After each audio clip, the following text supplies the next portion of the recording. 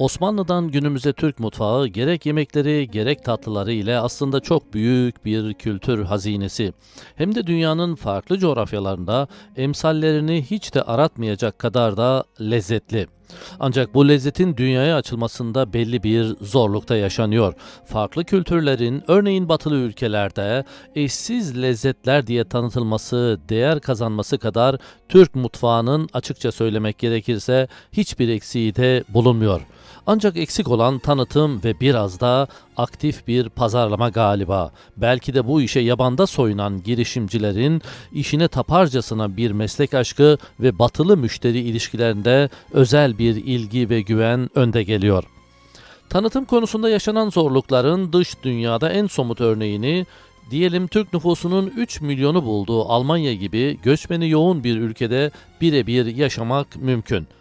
Türk lokantası deyince hemen her köy ve kasabada sayısız örneğine rastlamak mümkün ancak bunların da neredeyse tamamı bir döner büfesi veya küçük bir işletmeden öteye gidemiyor. Bu işi yapanlar ise ya işinden bir şekilde ayrılmış, yapacak başka bir işi bulunmuyor, hani mutfaktan anlamasa bile elinde oluşturduğu küçük bir sermaye ile örneğin bir döner büfesi açmaya girişenler oluyor.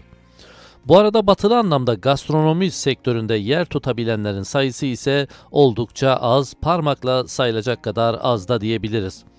Bunlar ise genellikle büyük kentlerde bir şekilde hedefe odaklanmayı başarmış, dediğimiz gibi parmakla sayılabilecek kadar az ciddi girişime dönüşebilmiş kişiler diye tanımlayabiliriz.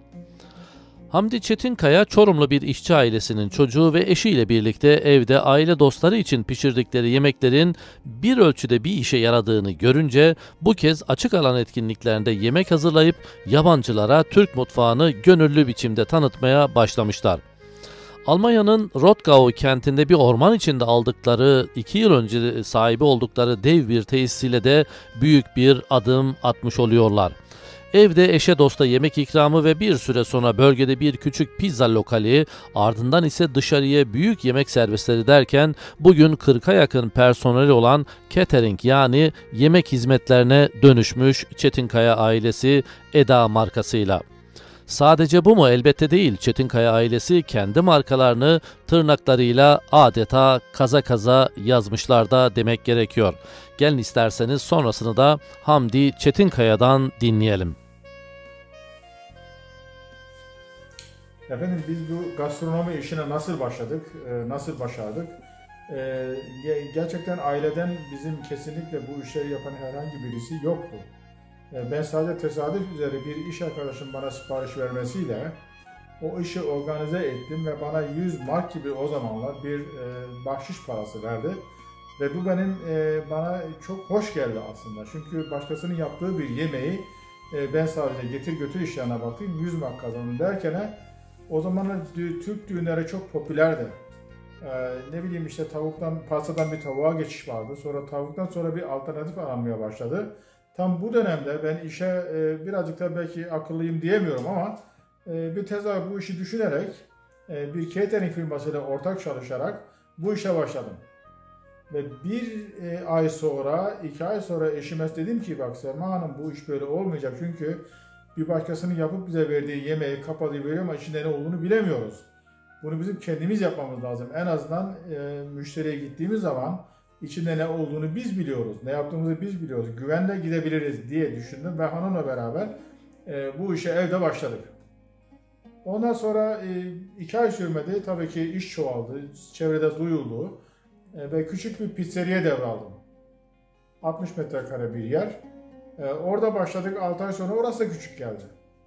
Sonra kız kardeşimi yanıma aldım. Ee, ondan sonra ekibi çoğaltarak bu şekilde genişleyerek e, daha da e, e, çevreden insanlar alarak e, Oves House'unda 400 metrekare bir yer aldık 6 ay sonra.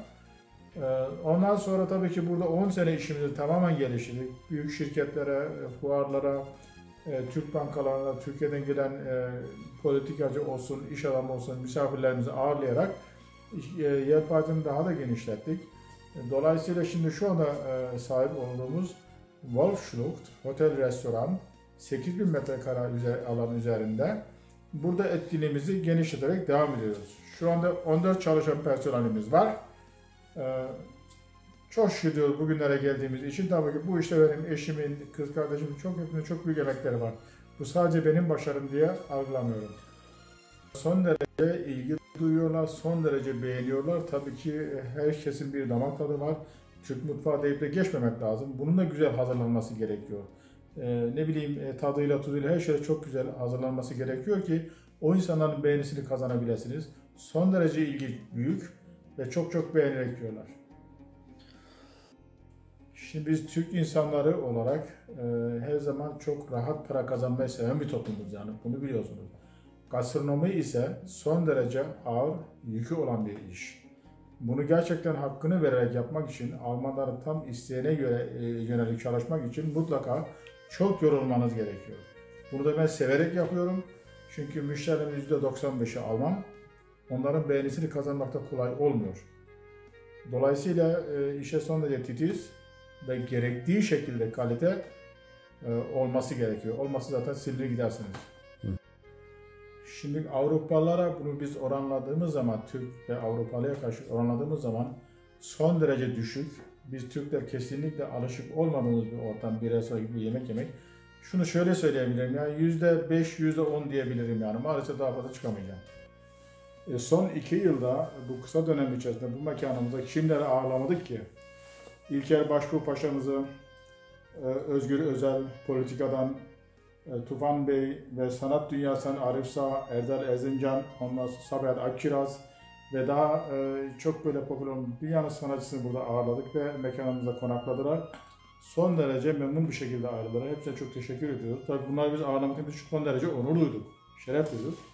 Ee, tabii bu iki yıl içerisinde tabii gelecekte neler olacak? Çok çok çok şey olacağına inanıyorum. Çünkü tanındıkça büyüyoruz. Hı hı.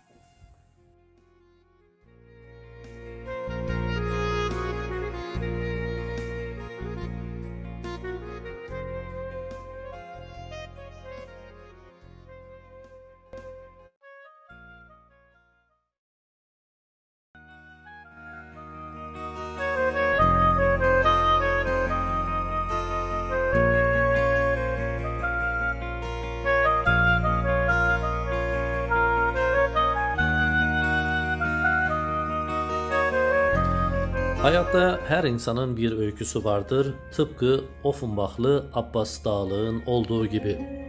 Urfa'nın Siverek ilçesinden başlayan uzun bir yolculuk gibi geldi bize onun öyküsü. Gelin isterseniz bunun ayrıntılarını kendinden alalım. Evet, ben Abbas Dağlık, aslen Urfa Siverekliyim. Yıl 88 Almanya'ya geldik. Offenbach şehrinde işe başladık, İtalyanların yanında. 7 yıl İtalyanlarda çalıştım pizzacılık, aşçılık derken işte 95 yılına kadar süresimizi aldık. Ondan sonra kendi mekanımı açtım Fantaziya 1 diye Offenbach'ta, Offenbach şehrinde. Toplam 5 tane fantaziya açtık. Şu anda 3 üç, üçü duruyor. Bir de iki tane Türk mutfağımız var. Anatolia, bir Offenbach şehrinde, bir de Frankfurt'ta. Offenbach şehrindeki Anatolia'nın yanında bir de Fish and Steak açtık. İşte toplam e, 31 yıldır bu işi yapıyoruz. Şu anda 50-60 tane elemanımız var hayat böyle devam ediyor. Bir İtalyan pizzacı lokalinde bulaşık yıkarken artık hayatın en alt kademesindeyken bir anda 60-70 kişilik bir personel olan gastronomi sektöründesiniz ve isim yapıyorsunuz ve başarılısınız. Bu süreç içerisinde yaşadığınız, sizi zaman zaman yıkan, zaman zaman yücelten, onurlandıran bir iki anekdot var mı? Kesinlikle vardır. Ee, şimdi biliyorsunuz biz mesela Türkler olsun, yabancılar olsun artık gelmiş bir yabancı bir şehre gelmişiz, bir devlete gelmişiz. E, zorluklarımız bayağı oldu, e, bayağı bir çektik ama direndik. Yani bir de Türkiye'de ben geldiğim zaman bir altyapım vardı, ticaret yapıyordum. İşte halda, halda komisyonculuk olsun, işte manifatura, konfeksiyon derken. Altyapı olduğu için direndik. E, işte 31 yıldır yapıyoruz, devam ediyoruz. Mutluyuz, başarılıyız Allah'a çok şükür. Yani Türk gastronomisi, Türk mutfağı, Türk ağız tadı batılı toplumda nasıl geliyor, nasıl ulaşıyor, beğeniliyor mu? Şu anda e, daha başta değil ama son bence benim güç, yani şahsi görüşüm 15-20 yıldır bayağı bir Türk mutfağı tanıtıldı ve Türk mutfağında başarılıyız. Yani şu andaki bizim Türk mutfaklarından müşterilerimizin yüzde 50-60'ı yabancı diyebilirim. Öğle servis servisi de yani çok müşterilerimiz yani yüzde 90'ı yabancıdır. Menülerimiz var. Ee, işte ızgaralarımız var. Odun fırınımız var. Yani bayağı memnunlar. Biz de memnunuz. Böyle hayat devam ediyor. Gastronomi sektöründe Batı kültüründe İtalyanlar hep önde geliyor. Daha sonra biraz İspanyol, biraz da işte Yunan mutfağı ön planda. Türk nüfusu bu kadar yoğun olmasına rağmen turizm açısından da Almanlara yatkın bir ülke olmasına rağmen mutfak açısından Batı'da gerçek anlamda bir Türk mutfağının olduğunu pek söylemek mümkün değil. Ama siz kendi bölgenizde Frankfurt'ta bunu başardınız. Bu başarının sırrı nedir acaba? Ya bu başarı e, dediğim gibi yani 30 yılın bir emeği var burada. Bir de altyapıdan geldik, çekirdekten yetişme. Yani İtalyanlarda başlarken bulaşıktan başladık. 30 yılda bir az bir süre değil, yani 30 yıl bir emek verdik. Ee, ondan yani bizim başarımız ondan geliyor. Ee, gerçekten şu andaki yani Türk mutfakları e, bence çok ileridedir. Çok da başarılılar. Mesela Offenbach'e, Frankfurt'a gidin mesela e, en çoğunlukla mesela Türk, Türk mutfakları, Türk restoranları bulunmaktadır. Yani benim şahsi görüşüm. İyiyiz yani. Hı hı. Ee, Türk mutfağı İtalyan ağız tadına veya daha doğrusu İtalyan mutfağı ile Türk mutfağı arasında bir benzerlik var. Ee, ikisini edici bir yaklaşımınız var çünkü bu işin kaynağını İtalyan mutfaklarında aldınız. Doğrudur. E, bence fazla bir benzerlik yoktur. E, yani tabii ki muhakkak mesela diğer salata çeşitlerimiz hemen hemen aynı desem de yani değişikliğimiz çoktur. Bizde mesela ağırlıklı Türk mutfaklarında ızgara vardır. Odun fırından da mesela pidelerimiz vardır. Tabii o muhakkak pisalara benziyor ama e, mutfağımız yani onlara bence daha ileridir yani benim şahsi görüşüm. İyiyiz yani. Yıllardır bu alanda çalışıyorsunuz. Batılı müşteri ağız tadı ararken mutfağın zenginliğine mi bakıyor yoksa hijyenik ortamlar mı daha çok ön planda? Ya hijyenik muhakkak her zaman şart. Yani hijyenik olmadığı bir yerde zaten e, yani tat da aramasın, lezzet aramasın. Hijyenik şeyinde ben o, o konuda bayağı bir hassasım. E, genelde hep başındayım, kontrol ediyorum. Yani ona ben gerçekten özen gösteriyorum. Olmadığı yerde zaten artık bence yemek yenilmez. Yani mutfak, Türk mutfakların e, gerçekten lezzetlidir. Yani bizim çeşit bize de çok. Yani İtalyan mutfağında çeşit çok diyoruz ama bizde de gerçekten bizim mezelerimiz var. 20 çeşit mezemiz var. E, ızgara çeşitlerimiz yani en az bir 10 çeşit ızgara çeşitlerimiz var. Sulu yemeklerimiz var. Yani salata çeşitlerimiz var. Yani insanları doyuruyor yani tatmin ediyor Türk mutfağı.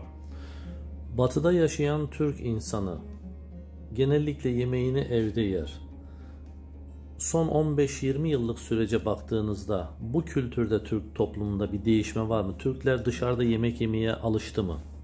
Kesinlikle alıştı. Ee, şimdi biliyorsun yani fiyatlar mesela alış fiyatları da mesela bayağı bir artış oldu. Yani e, dışarıda bence yemek daha mantıklı. Daha önce mesela gidiyordum bir poşet alıyorduk diyelim 50 marka. Şu anda onu 50 euroya alamıyoruz. Ev, evdeki o e, diyelim o çalışma, pişirme değmiyor. Dışarıda mesela fiyatlar da yani fazla aşırı değil, uygundur. Bence dışarıda mesela daha uygun geliyor ve şu anda dışarıda yani aileler çıkıyor. Yani bizim Türkler de mesela şu anda bir yoğunlukla 5-10 yıldır bayağı Türk müşteriler aileler de gelip mesela restoranlarda yemek yiyorlar. Uygundur yani. Benim unuttuğum siz